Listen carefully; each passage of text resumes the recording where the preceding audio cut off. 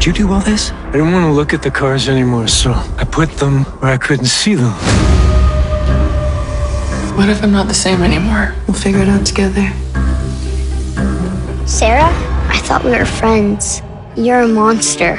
You told people you were coming back with answers, and instead you came back with a psychopath. She knew things. Out in the forest, she knew things she couldn't possibly have known.